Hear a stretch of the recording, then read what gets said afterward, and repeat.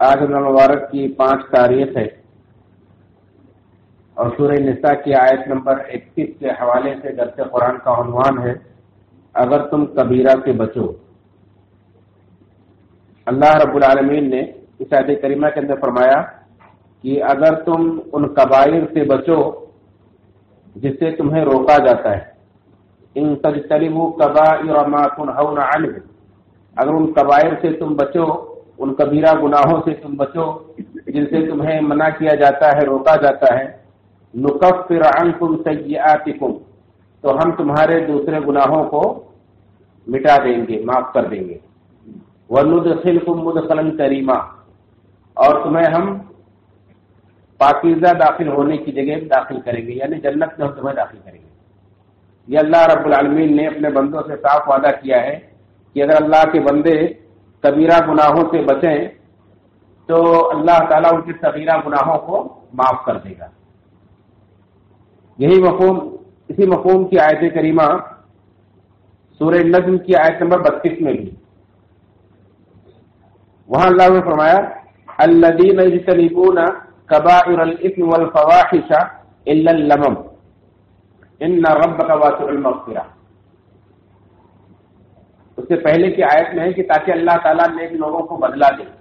वो नेक लोग कौन लोग हैं? अल्लदीन यजतनिबून अल कबाइर अल्लदीन यजतनिबून कबाइर अल इस्म ये वो लोग हैं जो कबीरा गुनाहों से बचते हैं।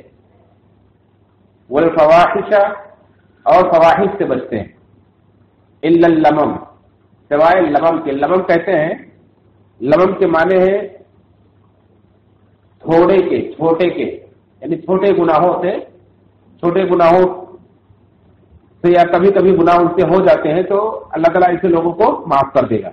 इन नरब का वासुल मकफिरा बेशक आपका रब बहुत वसी मकफरत वाला है।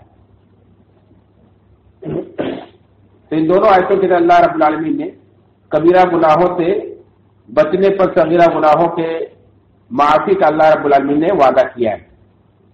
और कबीरा गुनाहों में अब सवाल ये पैदा होता है कि कबीरा गुनाह कैसे किसे हैं? कबीरा गुनाह के बारे में उलमा ने कई तारीफें की। उसकी तारीफ़ में काफ़ी अख्तलाफ है। और इसी तरह से कबीरा गुनाहों के भी दर्जात जैसे अब्दुलरहमान बिन नासिर सादी रहमल्ला अपनी तफसीर तफसीर सादी के अंदर कबीरा गुनाह की तारीफ़ करते हुए कहते हैं कि ये सबसे जानने तारीफ़ है, कबीरा गुनाह की। कहते वो गुनाह जो दुनिया में हद का मोजिब यानी जिस गुनाह पर अल्लाह रबुल्ला दुनिया के अंदर कोई हद नाफिज किया हो। जैसे चोरी करे तो हाथ काटा जाए, शादीशुदा होकर जना करे तो रद्द किया जाए गैर शादीशुदा होकर जना करे तो कोड़े लगाए जाए, ये हद है, ये हदूद है। तो ऐसे गुना जिन पर हद जारी हद नाफिज किया गया है, ऐसे गुना भी कबीरा के जमरे में आते हैं। इसी तरह से ऐसे गुना जिन पर आखिरत में सख्त वही सुनाई गई कि अगर ऐसा करोगे तो तुम्हें जहन्नम की आग में जलाया जाएगा। ऐसा करोगे तो जहन्नम में तुम्हें सख्त आज़ाद होगा। जैसे बहुत सारे गुनाहों पर अल्लाह रब्बुल आलमीन ने जन्म की वही सुनाई। झूठ बोलने वालों को, सूद खाने वालों को, शराब पीने वालों को, इस तरह से। ये इस तरह से ये भी कबीरा गुनाहों के जुमरे में आते हैं। इसी तरह से अगर कोई ऐसा गुनाह है, जिसके करने वाले के ईमान की नफी की गई हो, कि ऐसा गुनाह करेगा आदमी तो उसका ईमान चला जाएगा। उसका ईमान बातिल हो जाएगा। वो भी कबीरा गुनाह के जुमरे में आता है। इसी तरह से किसी गुनाह के करने पर लानत की गई हो, अल्लाह ताला ने लानत की हो, या अल्लाह के रसूल सल्लल्लाहु अलैहि वसल्लम ने लानत की हो, या अल्लाह की रसूल की, फरिश्तों की, तमाम मोमिनों की लानत हो तो ऐसे लोग, ऐसे गुनाह भी कबीरा गुनाह से जुमरे आते हैं। जिन गुनाहों पर लानत की गई।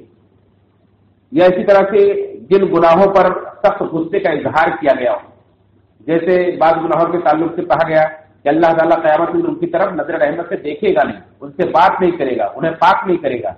मतलब सख्त गुस्से का इजहार किया गया है।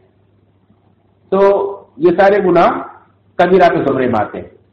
यानी ऐसे गुना जिन पर हद का, हद वाजिब हद नाफिज किया गया हो, जो हद के मूजिब हो, या ऐसे गुनाह जिन पर आखरत में सख्त वही सुनाई गई हो, ऐसे गुनाह जो जिसके ईमान की नफी हो जाती हो, ऐसे गुनाह जिनके करने वाले पर लानत की गई हो, या ऐसे गुनाह जिनके करने वाले पर अल्लाह तला ने सख्त गुस्से का इजहार किया हो, ये सारे कबीरा गुनाह के जुमरे में आते हैं।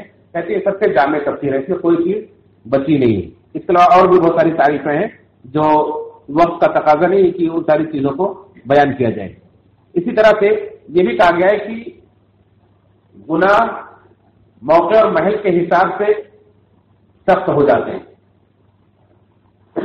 एक गुना अगर एक आदमी कहीं और करे तो वो कुछ और, उस, वो भी गुना होता है कबीरा होता है, लेकिन वही गुना आदमी जाकर के हरम में करे, खाने काबा के पास करे हदूद हरम के अंदर करे तो उसका गुना और सख्त हो जाता है।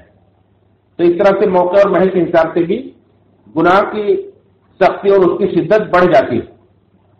या एक ही गुनाह मुख्तलिफ़ लोगों के ज़रिए से हो तो भी उसकी सख्ती बढ़ जाती है। जैसे जमा करना खुद एक कबीरा गुनाह। अब एक गैर शादीशुदा इंसान अगर जना करे तो भी कबीरा है। अगर शादीशुदा होकर के कोई जना करे तो और ज़्यादा सख्त हो जाता है। फिर उसके बाद बूढ़ा आदमी अगर जना करे तो उसकी शिद्दत और बढ़ जाती है और सख्त गुनाह हो जाता है। इसी तरह से अगर वो इंसान किसी दूसरी औरत के बजाय अपने पड़ोसी की बीवी से जना करे तो उसकी शक्ति और बढ़ जाती है। इसी तरह से अगर अपनी महरिमात से, यानी अपनी माँ, बहन, बेटी जो महरिमात में आती है, उनसे जना करे तो उसकी शक्ति और ज़्यादा बढ़ जाती है। तो इस तरह से एक ही गुना है, वो सिर्फ़ देना लेकिन मुख्तलिफ़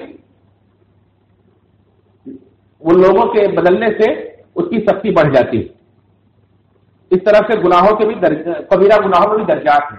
अल्लाह के नबी वसल्लम ने खुद एक बार फरमाया, अला उनबुकुम अकबरी कबायर क्या मैं तुम्हें अकबरुल कबायर के बारे में न बतलाऊं? यानी वो गुनाह जो कबीरा गुनाहों में भी बड़े बड़े गुनाह तो साहब ने कहा, क्यों नहीं अल्लाह आपने बतलाई? तो आपने फरमाया अल इशराक बिल्ला वो हुकुल वालदेन। अल्लाह के साथ शिर करना और वालदेन की नाफरमानी करना। और फिर आप टेक लगाकर बैठे हुए थे, आपने टेक छोड़ दिया। और कहा अला वकौलूर अला वशाहतूर अला वकौलूर अला वशाहतूर सुनो, झूठी गवाही देना, झूठी बात कहना, झूठी गवाही देना, झूठी बात कहना। आपने इसको इतनी बार दोहराया कि साहबा कहते हैं कि हमने तमन्ना की, ऐसा क्या तुम खामोश हो जाते तो इस तरह से आप सल्लल्लाहु अलैहि वसल्लम ने इन तीनों गुनाहों को, कबीरा गुनाह में अगर किसका शुमार है, लेकिन इनको आपने अकबरुल कबाई कहा। कबीरा गुनाहों में भी बड़े दर्जे के गुनाह। तो इस तरह से कबीरा गुनाहों के बारे में कुछ बातें थी, इसी तरह से बाजुलमा ने कहा है, जैसा कि डॉक्टर उस्मान सलफी अब्दुल्ला रहमुल्ला अपनी तफसीर के अंदर लिखते हैं कि कबीरा गुनाह कितने हैं? इसके ताल्लुक से कुछ ने कहा कि कबीरा गुनाह सिर्फ़ सात। जैसा कि अल्लाह के नबी सल्लल्लाहु अलैहि वसल्लम ने अपनी हदीस में फरमाया इस तलबुसबाल मुलाकात सात हलाक करने वाले गुनाहों से बचो। तो उन्होंने बस उसी को कबीरा में शुमार किया और कहा कि सात है कुछ लोगों ने कहा कि नहीं, सात नहीं बल्कि सत्तर है। कुछ लोगों ने कहा कि सत्तर नहीं बल्कि सात सौ। इस तरह से उनकी गिनती के बारे में भी अलमा के में इख्लाफ पाया जाता है। इसी तरह से कुछ उलमा ने किताबें भी लिखी। कुछ उलमा ने किताबुल कबायर के नाम से कबीरा गुनाहों की फहरिस्त उनकी तरतीब बतलाने के लिए किताबें लिखी, जैसे वहाँ साहबी रहमत की किताब, किताबुल कबायर बहुत मशहूर है। और इसी तरह से हाफिज हजर अलहैसमी रहमुल्ला ने भी किताब लिखी है अजवाजिर अन इख्तराफिल कबायर इस तरह से उलमा ने किताबें लिखी। गरजती कहने का मतलब यह है कि जो भी इस जुमरे में आते हो, कबीरा गुनाह के जुमरे में आते हो, उनसे आदमी को बचना चाहिए। और आदमी कबीरा गुनाहों से अगर बचता रहे तो अल्लाह रब्बुल आलमीन ने वादा किया है कि अल्लाह उसके कबीरा गुनाहों को माफ़ कर देगा। जैसा कि मसूर हदीस आपने बार बार सुनी है कि अल्लाह के रसूल सल्लल्लाहु ने फरमाया कि पाँचों नमाजें एक जुमा दूसरे जुमा तक, एक रमज़ान से लेकर दूसरे रमज़ान तक अपने दरमियान तमाम गुनाहों को मिटा देते हैं। मल सुनी बतिल कबायर जब तक कि कबाइल से बचा जाए। तो हमारी ये नेकियाँ हमारी बुराइयों को मिटा देती हैं बशर्ते कि हम कबीरा गुनाहों से बचें। और जो फराइज हैं, इनका छोड़ना बताते खुद कबीरा गुनाह है। जैसे फ़र्ज़ नमाजें छोड़ना कबीरा गुना है, फर्द रोज़े छोड़ना कबीरा गुना है, फर्द जक़ात न अदा करना कबीरा गुना है तो इस तरह से फराइज का छोड़ना भी कबीरा है। और अगर आदमी कबीरा को नहीं छोड़ता है तो कबीरा के साथ साथ सगीरा गुना उसकी शुमार की जाएँगी और क्यामत के दिन उन्हें सख्त दी जाएगी। अल्लाह ताला से दुआ है कि हम सबको हर तरह के कबीरा गुनाहों से बचने की तो फरमाए।